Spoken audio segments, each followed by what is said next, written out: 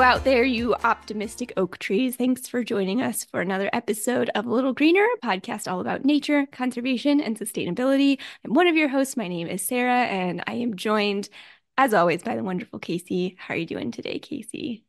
Hi Sara, I'm good. Um, I don't think it's the oak trees that's getting me right now. I think it's Oh, no. the maples, the birches, etc. But if you notice my voice is a little funky, I cannot breathe through my nose because of allergies right now. So I'm doing all right otherwise. How are you? I am also doing okay. It's been a busy week for me. I'm usually a big homebody, and I've been out sort of every day this week after work. Oh. So Fancy. I, yeah, I'm good, but definitely looking forward to being home for the weekend for sure. Hey, we're recording the week of the eclipse. Yeah. How was your eclipse? very low key where I was. I don't think I ever even said, and I I honestly will admit that at the time that we recorded that episode, I didn't realize that everywhere across the country was getting at least a little bit of eclipse. I Yeah. I probably should have realized that, but I didn't. Here, I knew we were getting something and, and not much. I think we were in the like 50% ish range of coverage. It was it, it was actually noticeable. I was surprised that I could even tell, that there was just a feeling that it was later in the day Yeah. if you were to look outside during the eclipse time. One of my coworkers brought in eclipse glasses to work, so a few people did go out and look at it and thought it was pretty cool. I abstained because it makes me too nervous. You're afraid. So Sara texted me after last episode when i had purchased just like impulse uh eclipse glasses. I ended up purchasing like 20 pairs so everyone at my workplace could go out because we mostly work outside, be able to to go see it safely. And then she texted me an article about how there's a bunch of fake eclipse glasses on the market and I was like, I don't know, because I did two seconds of an Amazon search on it. And luckily, mine were real glasses. One of the girls at Yay. work double checked for us.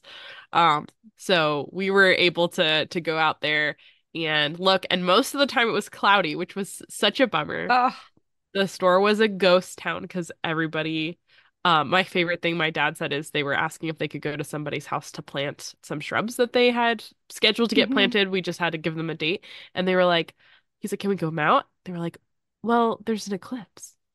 And he's like, yeah, and so every like a certain amount of people's life really stopped for for that little bit there. And luckily there was a break in the clouds right when we hit our peak eclipse and it was really it was fun. It was just like a un again we talked about like a moment that we could all kind of like talk about that's not a disaster or political. It was just like oh this thing is coming and it was a fun little moment everybody looking up at the sky It really was. While it may have been sort of anticlimactic here for me, I still really enjoyed the experience of other people enjoying the eclipse. And e- even just like watching my coworkers go out and, and look at it was really fun. I had some folks that work with me that listened to the episode talk to me afterwards about animal observations and, and things that they'd seen. But watching friends and family back up north who were in the path of totality and or very close to it. So like my mom was just outside of it. It, it just was so cool watching, seeing the photos that came out of it, watching people cheered when it Yeah. happened it was so cute yeah, it really was. And there was some fun animal stuff that I heard that came out of it too. Mostly bird things is what I was hearing about. Just we've talked about before, just how accessible birds are, and that's Yeah. just an observation that that anyone can make when they go out there. And so uh, my mom had shared with me a post from a bird watching group in Indiana who had his, his Merlin bird ID like sound recording app going before, during, and after, and had I think it was seven calls that were being identified before the eclipse, total silence throughout totality, and then like 15 different species of bird identified afterwards, which that's just cool. It's fun.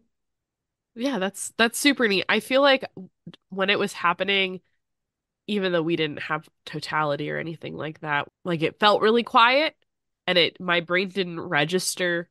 I thought it was just because there wasn't a lot of people around. Mhm. But after it was over, I heard the birds singing again, and I was like, "Oh, yeah, you guys That's were pretty happened. quiet during Yeah. that time." It just felt like uh, the sound got turned off in nature a little bit for just a moment, and it was just kind of like, like you said, felt later in the day, felt like we were about to leave instead of it being like three. So Yeah. good times. yeah. Share with us your eclipse experiences. If you've got any nature observations, we'd love to hear about them. But today we're going to be moving to uh, more on the ground rather than in the sky things.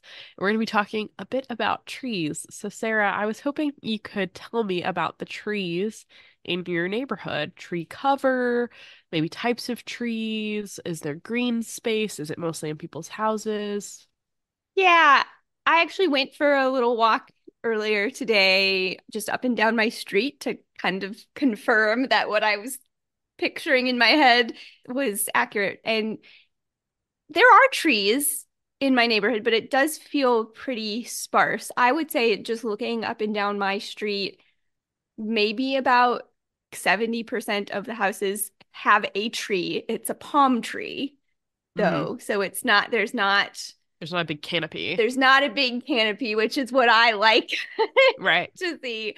Yeah, so there's not a lot of coverage, but I would say about 70% of the houses have that palm tree, but that's it for most of them. We know I've talked on the podcast before about my other tree. I have this golden rain tree, which is a tree that has a, a little more of uh, a, a top to it. Yeah. So branches uh, widespread. yeah, and and there are what I think are a handful of other houses th- that I think have that same tree. I'm very bad at my tree identification, but certainly a very similar looking tree. Uh, But that's pretty much it. I don't see a ton of variety. There's a handful of other kinds of trees, but mostly we're looking at those palm trees. We've got lots of large shrubbery that people have, but not a whole lot of tree coverage. It was one of the things actually that I didn't like about my neighborhood when I was house Right. hunting. I'd looked at some houses in some other areas that did have the the live oak trees. If you've driven around, or Yeah. if you imagine like the the South, I think this is what people think of as the the big, really wide oaks with those really widespread branches. There's Spanish moss hanging from them. It's so pretty. Uh, so I liked going into neighborhoods that did have more of that that tree cover, and so that was initially something that was a little bit of a downer for me about the neighborhood that I ended up in.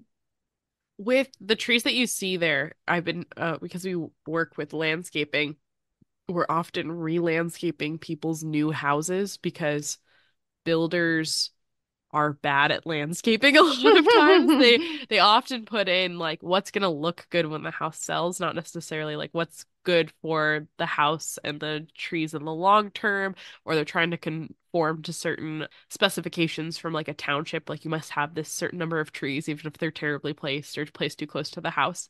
Does it seem like everyone's like palm tree was planted by the builder? 100%. Yes, Yeah. it's very uniform. They're placed at the same distance away from the sidewalk or in the same sort of placement. You know, not every house is Yeah. identical. They're similar layouts though, and so whatever the the structure of that yard is, yeah, they're pra- placed very similarly. Yeah, there's definitely especially when I was looking specifically, but I think it's fairly obvious to anyone looking that there's a uniformity there.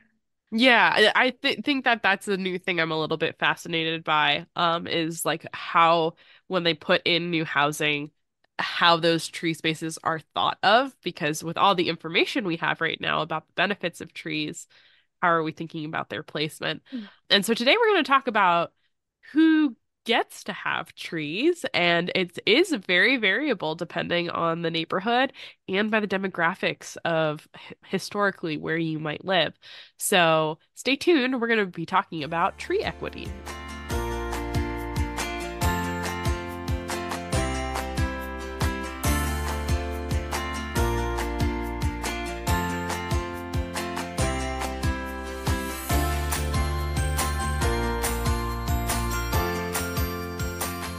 All right, guys. Today, I uh, was thinking about this a lot because of something that we're doing at work. We started this week getting solar panels on our roof, is super exciting. Yeah, I've never been like this intimately involved with actual solar panel installation, so it's cool to be a little bit further in the process.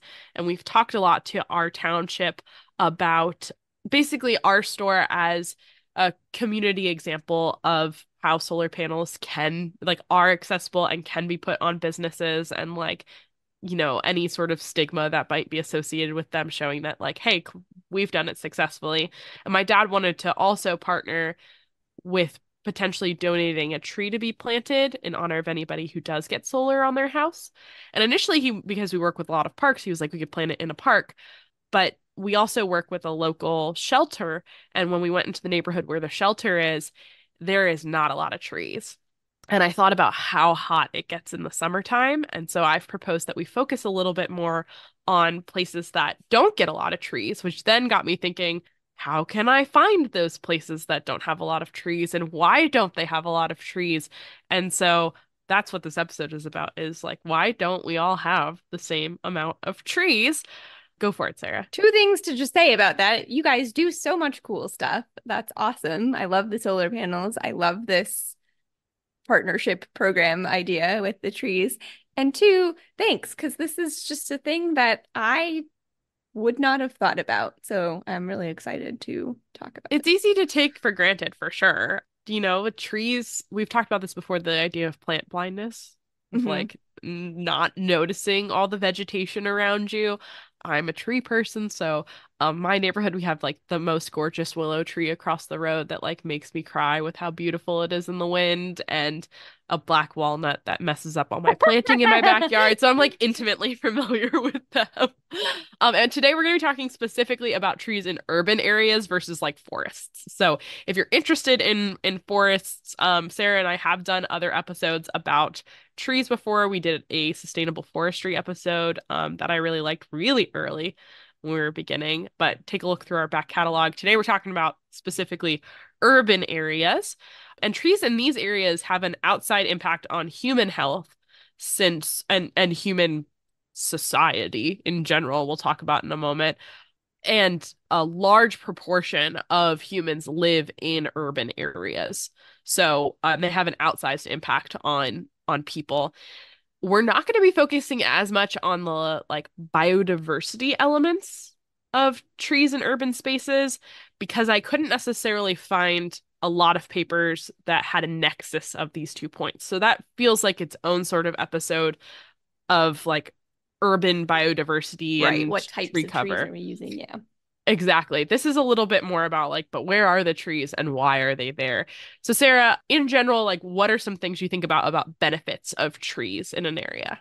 I mean, I'm going to start with maybe the most superficial, but since you and I have both already talked about it, I, I just I think we have an affinity towards trees. They're pretty. They make us Yeah. happy. They calm us down. Like I like being in a place that has a lot of trees. I think that it just is a good feeling for us. So I think sort of emotionally or perhaps mental health wise, trees have a benefit for us there. And obviously, there's a lot of physical benefits to trees as well. The very air that we are breathing, we can thank trees and other plants for, uh, but taking in that carbon dioxide, giving us oxygen. Their roots help prevent soil erosion. Their roots help control the water cycle and retain water for us. Shade is a big one, and we're talking about urban trees in particular too. I think we've talked a little bit about the urban heat island effect. I think so too. On our cities yeah. episode, maybe, but just that elevated temperature that you can find in urban areas with all of that concrete and the impact that trees can have there in keeping us cool, which also has health benefits as well if we can keep the temperature lower in our cities. So, so many things our trees do for us. Yeah, you've definitely touched on a lot of points. There's like the human health elements, there's uh, the aesthetic elements of it, um, which are like not negligible. And there's also environmental differences that also will help mitigate things like climate change. So, Sure. urban trees help manage stormwater by slowing down the water as it reaches the ground, helping absorb some of it, transpiration, bringing that water out through its leaves again. It absorbs and blocks air pollution, including particulate matter, which is one of the most dangerous types of air pollution. Sara covered an episode on air pollution that's super interesting. Obviously, they provide carbon sequestration. So, just like those forests, urban forests also absorb yeah. carbon dioxide. They do a really important job of that. It cools the surrounding areas, typically between two and four degrees Fahrenheit, but they have been recorded shading an area to make a 10 degree difference. Yeah. And I, living here in Florida with the sun beating down on us, like, totally. Yeah, I have felt that absolutely the difference that it makes. Yeah. I mean, it, it definitely also impacts your um, willingness to go outside. Mm-hmm. Like if you're on a blacktop or even just an open green space field, if it's a hot day, you're probably not going out into that open field. I lived by our school where we had like the giant fields where they'd have like practice football out there. I would want to go under the sycamore trees that were near the sidewalk versus the middle of that field in the summertime. And that actually is associated with better social cohesion. So more people are able to gather with their neighbors in shaded, cooler spaces than they are willing to do so in big open spaces. So trees help us make friends.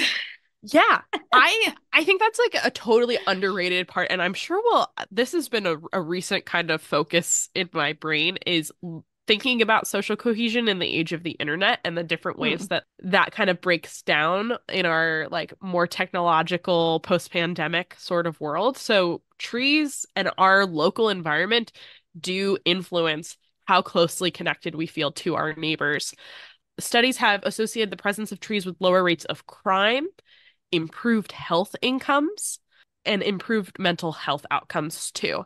I, what I want to say about these is that a lot of these are correlations, yeah. not necessarily causations.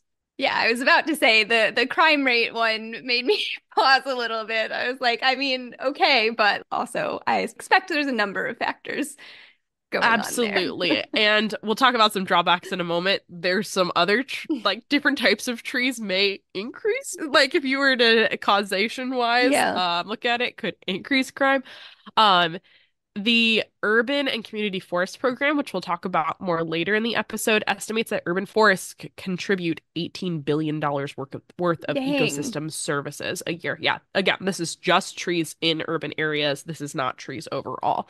Ecosystem services, if you aren't familiar with, are basically things that trees provide that we would have to otherwise potentially pay for. So if you think about like a tree shading a building, offsetting the cost of cooling that building, that's something you don't have to pay for if you have the tree. I have problems with ecosystem services evaluations that we could talk about in a different episode, but that's a, a number if you're if money is important to you in, in the valuation part of it. Some drawbacks about having trees around. I think they should be cited too. Sara, what yep. can you think of of some issues that having trees around might present? I will say as a homeowner, trees are scary. I want trees yeah. because I do think they're beautiful and they are calming for me and they do help shade your house, which is great. But the previous house that I lived in when I was living in Florida before did have one of those big oak trees out front. And I both loved it and was terrified by it because you think of things like branches. Anytime there was any type of high winds, I was just so anxious that something was going to come down on my house and they're expensive to to care for.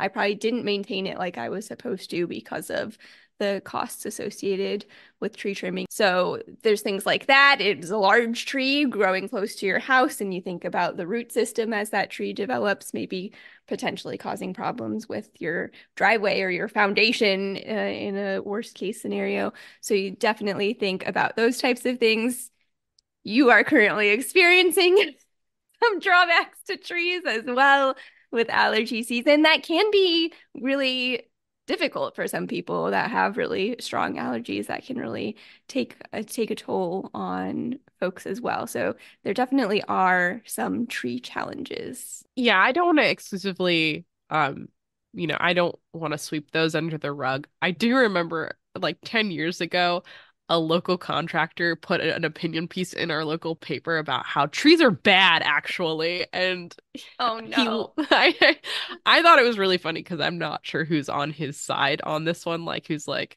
trees bad um i mean my brother has He's an anti-tree person. He does not want trees around his house because of some of the things that I mentioned. Yeah. They are tough. They are a maintenance thing. I am of the opinion that I still want the trees, but I do get really anxious about they. Like I want to make sure I've done my homework and I know the sure. type of tree and how far it is and all of that. So I do get nervous about them, but the benefits of trees vastly outweigh those those costs for me.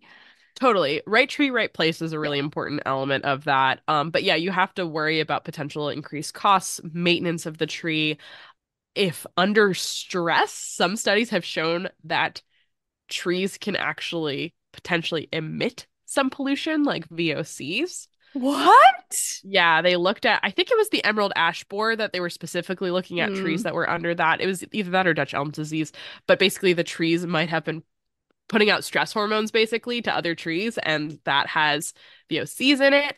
Um smaller trees that have like disrupted the overall view might have an association with increased, increased crime, crime.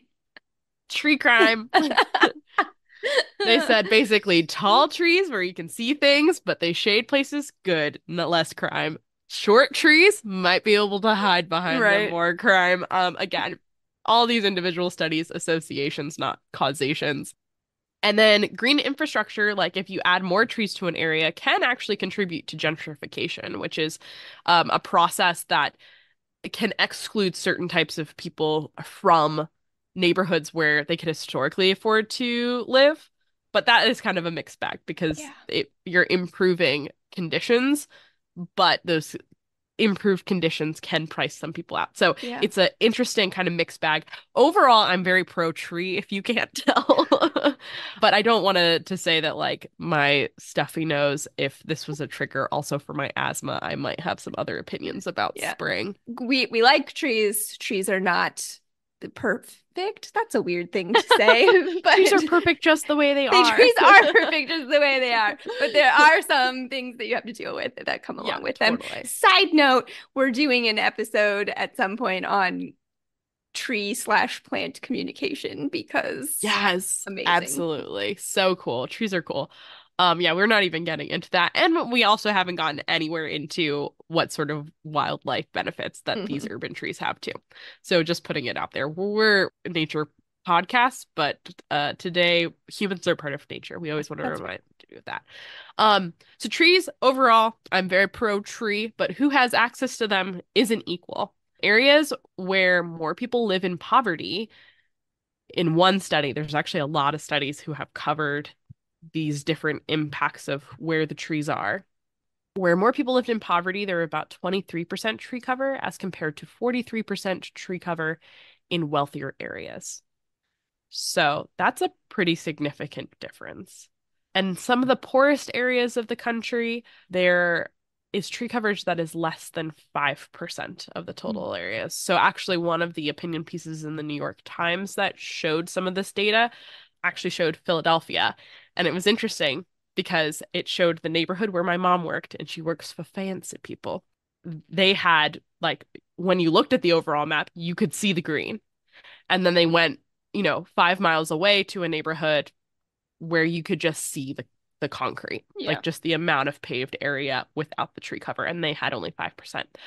So, why?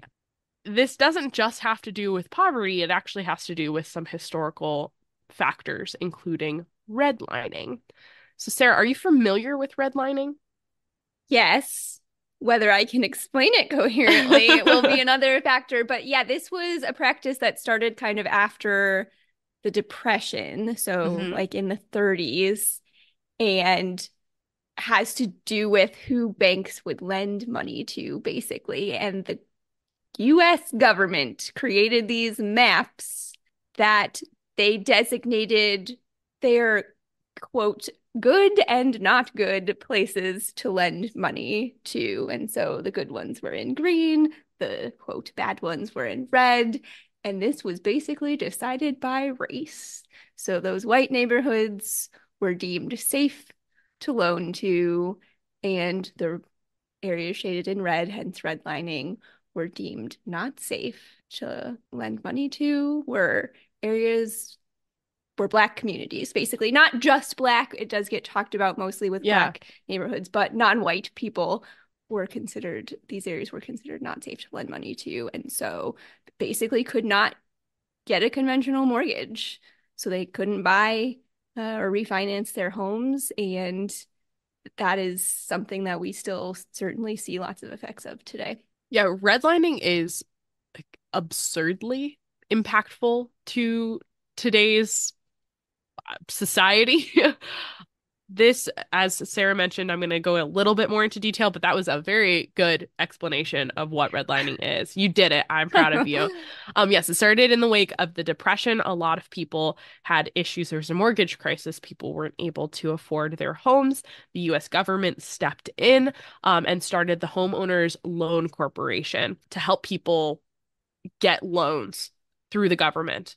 The corporation assessed housing stock based on two things the types of homes, so the age, the structure, etc. But it was largely dependent on the demographics of the area. There were th- four different rankings uh, that they could be categorized into.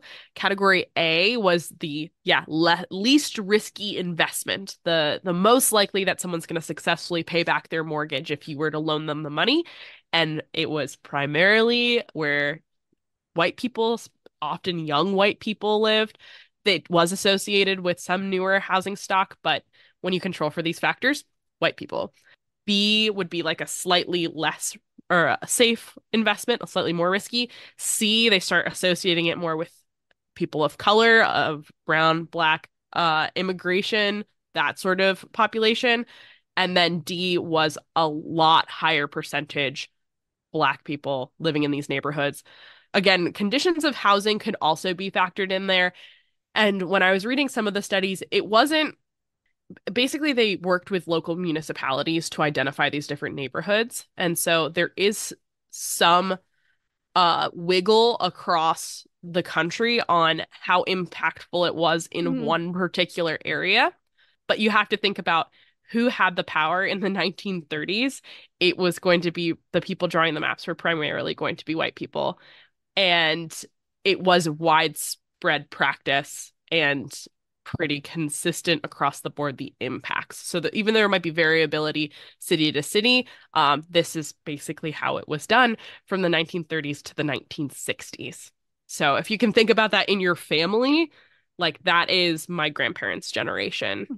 Um, when they were trying to buy houses so, taking a look, quoting one of the articles, and all the articles are down in the show notes, although this is by no means a comprehensive look at redlining. If you are interested at all in this subject, there's so much information out there, and there is, I highly recommend looking more and more into it. This is just sort of a brief picture.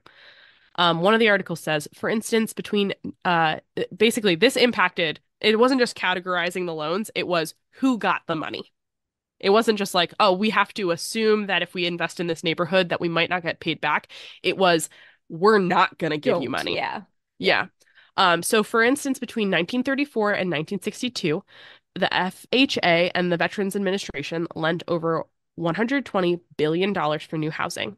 And 98% of this money was distributed to white residents compared to 2% of African Americans and other people of color.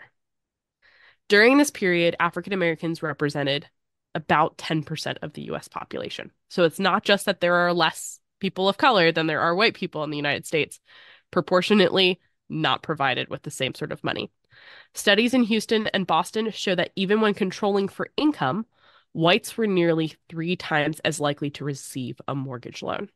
Yeah, so it wasn't just about the wealth, even wealthier right. Black neighborhoods were deemed not safe. Absolutely. Yeah, I think that's like a really easy conflation to make and it's something that I found su- initially surprising in college how consistently studies showed that like it's not just about low income people. If you are low income and you could say, well, of course, historically, Black people and people of color were marginalized and were less likely to have money to begin with. And therefore, they're sort of set up that way. It was like, no, this explicitly had to do with their race. And the impacts of redlining persists to this day. So it became illegal under the Fair Housing Act in 1968 to consider race as any part of the lending process, national origin, the other sort of discrimination policies.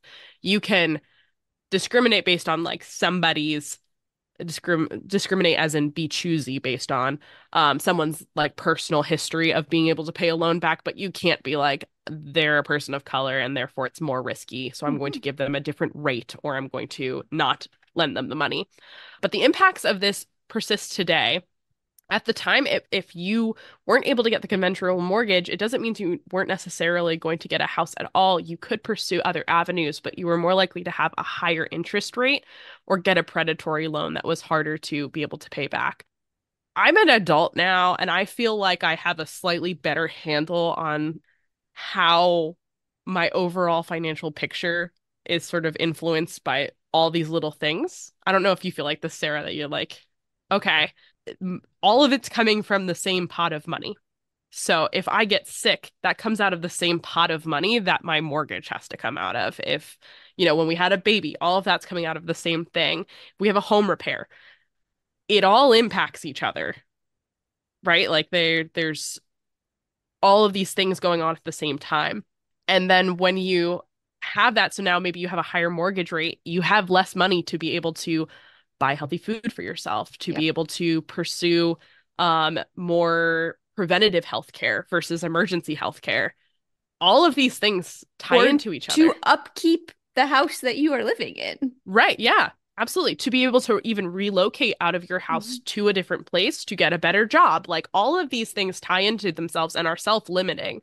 Um, so Places that were redlined today have higher pollution rates than places that weren't part of that red category, that category D. Um, they have higher instances of having factories and oil wells and things like that in their area. And they have higher rates of things like asthma and health issues. So, this association that we were talking about earlier about like trees being associated with certain health incomes or outcomes and certain um, societal outcomes, if they're associated with it and they're associated with redlining, we have kind of this like mirror correlation here where areas that were redlined have less trees and areas that are redlined also have these lower health outcomes and other persistent inequality problems. Yeah.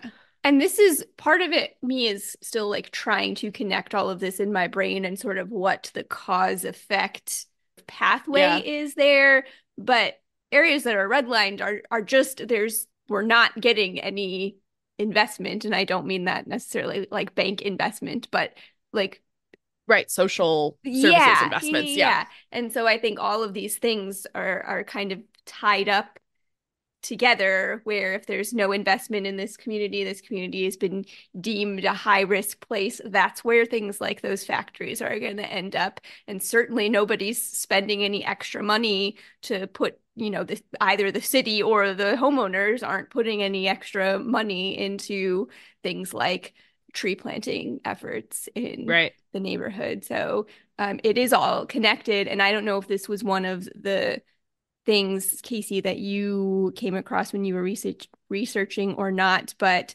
there was an NPR article that I was reading that was about the health effects of redlining that are persistent today. And they actually show uh, an area where they're showing how the red line sort of maps were drawn and what the high and low risk areas were. And then they have this thing called their social vulnerability index, which they describe as a measure of the community's capacity to prepare for, respond to, and recover from human and natural disasters. And just the correlation between those two maps is is eye-opening to see. So there's there's just definitely a, a relationship there.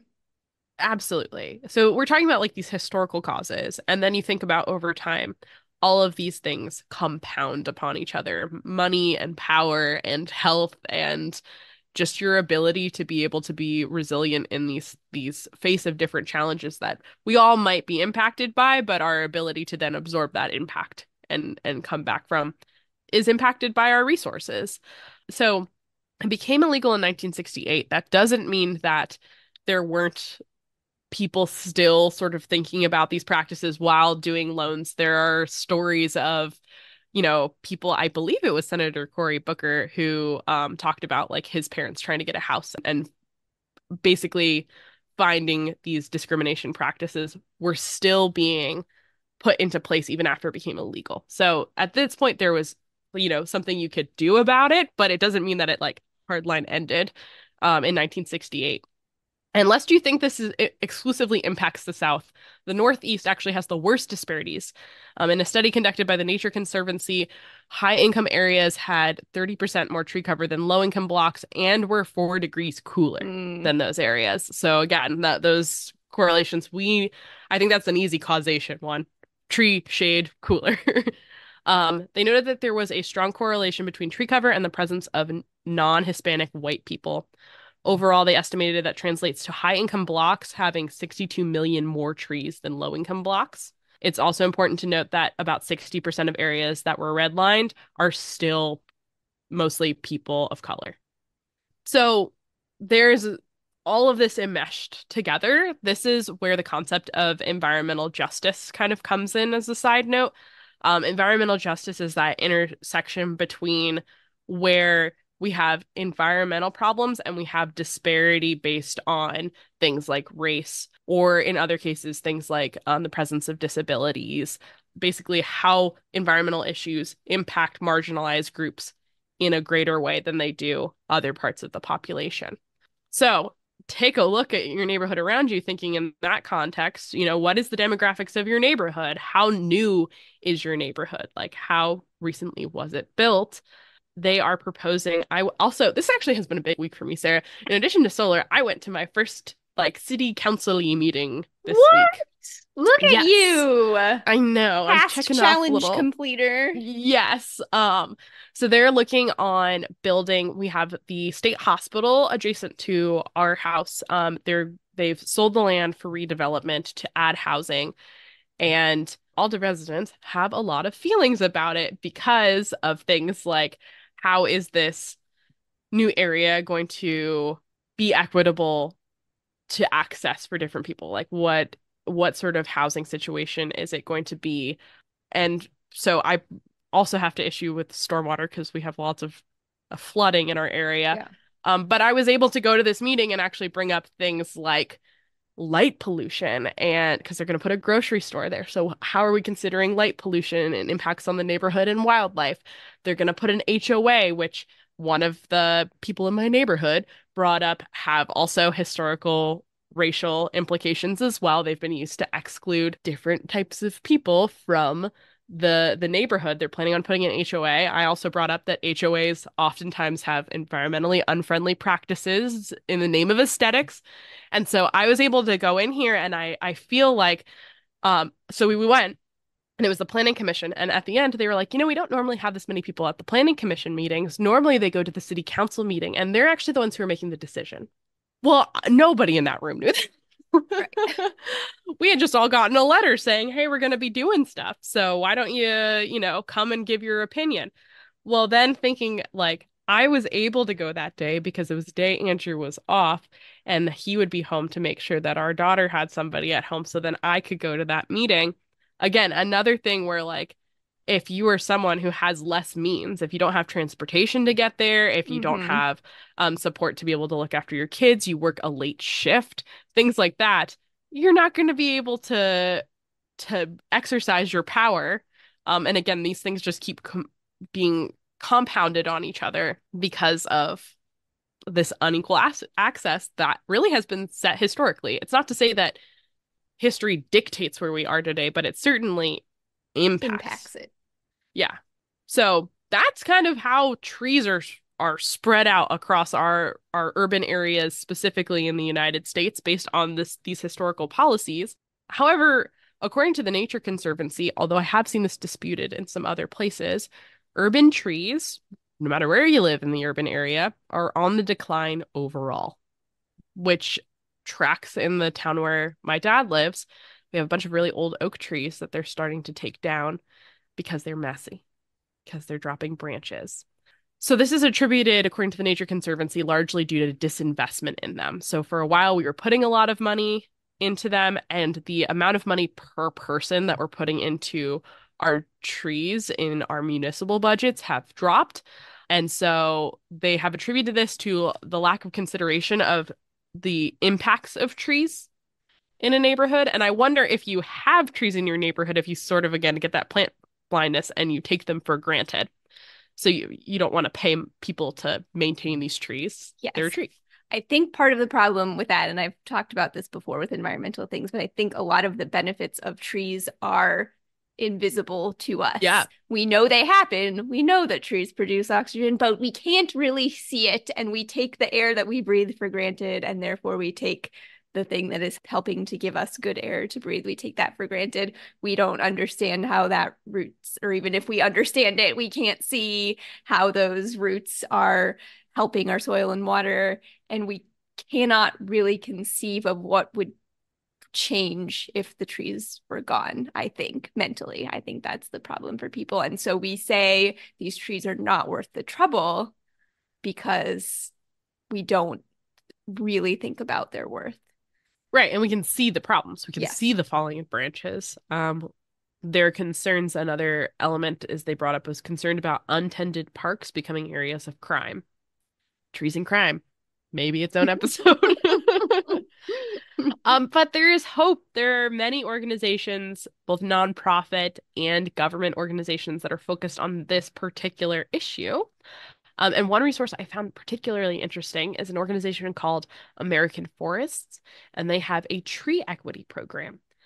And so it's specifically for addressing tree canopy cover inequality. And Sara, I have a link here.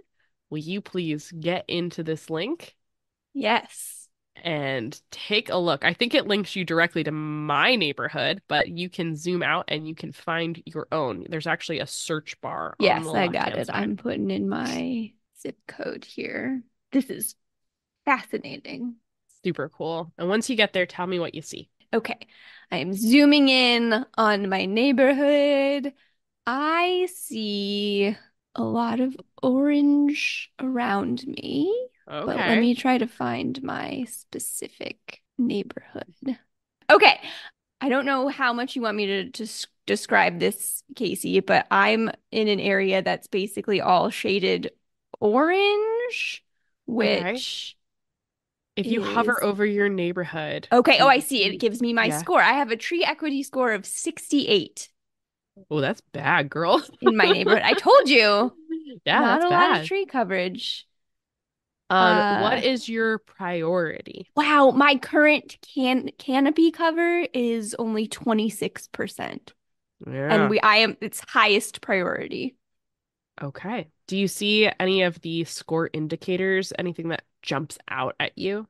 Well, I'm not sure. I need to spend some time on this, so I'm not sure exactly what I'm looking at, but there's something called linguistic isolation that's at 28%, people of color 49%. So, t- for the people who are listening, because this is an audio medium and I'm having Sara describe a visual map to me, um, With things I don't quite understand yet. yes. So this is a um it's a map of the US and it is overlaid with census blocks. So they have split everything into what their census block is. And the census gives you a certain amount of information about who lives in that area. So for mine, it it lists things like people of color, the people in poverty, um, Mhm. the children and seniors in the area, the health burden index. I don't know enough about each of these indicators to know exactly what Yeah. each means. That's going to be part of my homework is to look more into it. And then it is overlaid with, you said yours are orange because you got a, a pretty bad score compared to some of the areas around me. I think the lowest area in my town is 73, but I live in the Northeast and we are historically forest rather than savannah. Sure. And yeah, I am not surprised just based on the things that we talk about. I live in a neighborhood that's a little bit older, that is a high percentage of Hispanic folks in my neighborhood and a lot of people that speak primarily Spanish. And um, yeah, it does, it's sort of anger inducing to see the score, but I am not surprised by it. Yeah, mine's 85 and my priority is moderate. So our it gives you your current canopy cover, which is 30%. And I believe from all of them, not all of them, in some of the most of the areas that are like super urbanized, like um, our city center around downtown, they're looking for a canopy cover goal of about 30%. Whereas you move out a little bit from the town center, we're closer to like mine's 50%, but across the street from us is a different census block, and that is 40%. So they have come up with your tree equity score, I think, based upon um, some of these different factors of who lives in your neighborhood and then how much tree cover you have. Mm-hmm. And if you're super green on the map, then you've got pretty good tree equity. So, um, in one part of our town, the highest part, they have a tree equity of 98. So, can I read their uh so if you look at what their priority indexing is, if there's a little question mark there and it says the priority index is made up of equally weighted climate and socioeconomic characteristics that are integrated into the tree equity score. A higher priority index indicates more at-risk population and then it, for more information on each of those indicators, those things that we mentioned, uh, they have a data glossary that you can look at or some other tools that we'll explore. I found this to be extremely helpful. I thought that this was a really interesting way to really see your particular community and how much actual tree cover you have. So you can kind of think about what you perceive your tree cover to be and then what they have it classified as. And you can learn a little bit about the neighborhood around you. This I find just so interesting and there's so many depths to mine within it. So, Sara, what did you think of this this map? So cool. I mean, eh, like I said, it tracks very well with sort of what I had in my head first from what I was seeing with the trees in my neighborhood and the things that we talked about. But yeah, this I love that this exists and I right? cannot wait to look at it more. This I'm sorry, did you say this was from that it's American from American Forest. Forest. Yeah, yeah, I'm I'm excited to look at the map more and to learn more about that organization.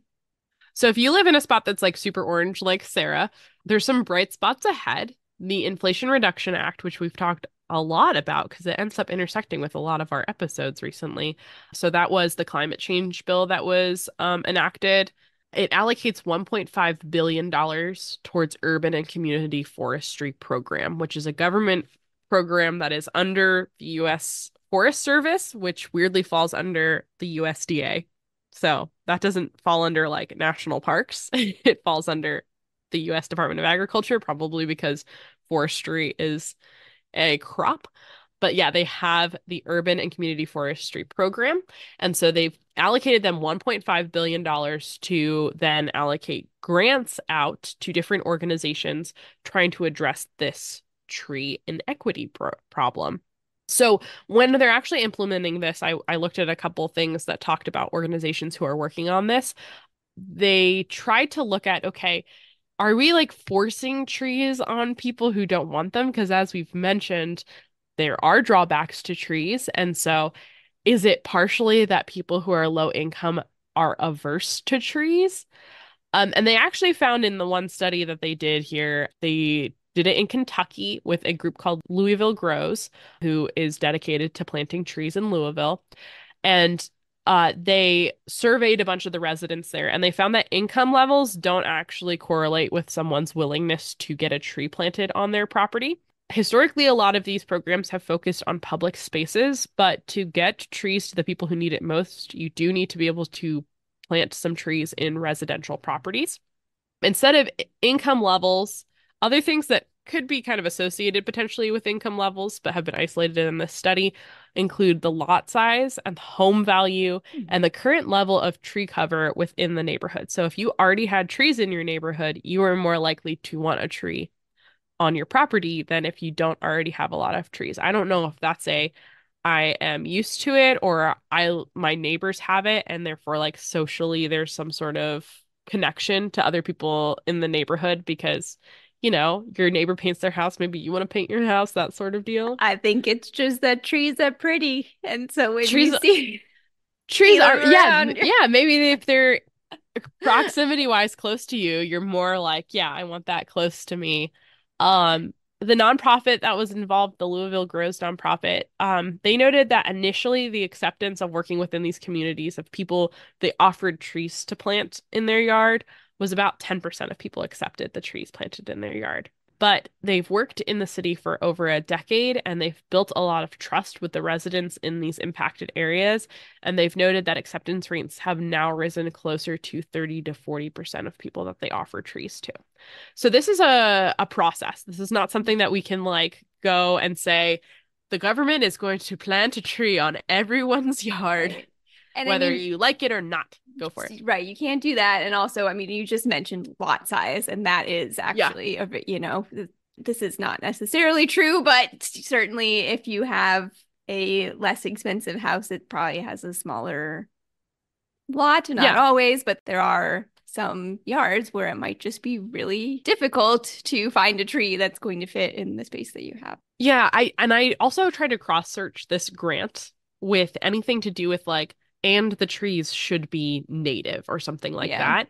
And I found no sort yeah. of like implementation of what tree it should be. Um, obviously, we don't want invasive species planted in towns, but there are so many considerations when it comes to city trees. A lot of these areas, as we noted, are really hot. So you need a tree that's going to be really resilient to pavement being around them. Air pollution, as much as trees can help with air pollution, they can also die because of air pollution. So you need something that's hardy with a lot of the emissions from cars coming. You need ones that are going to tolerate uh, road salt coming into their patch of land. You want something that's not going to drop a bunch of nuts on the ground. All of these factors are all going to be in there as well as any sort of local initiative trying to get things like native trees in, involved in this. And the more biodiversity that we have along tree streets can help as well, because when you do have things like the emerald ash borer, ash trees mm-hmm. historically mm-hmm. were a big street tree. And when you have the emerald ash borer come through now, they all died. They all died at the same time. So then you lose a huge amount of canopy all at the same time. And just trying to replace them with younger trees doesn't quite work. So there's a lot of considerations on what type of trees that they should be putting in there. But uh, that is most of what I got about who gets trees. Thanks so much. That, like I said earlier, was not a topic that I would have ever thought about. And it is so interesting. And I really want to go plant a tree now. I'm, I'm very, very um, high on trees right now. So stick around. We will have your challenge for the episode coming.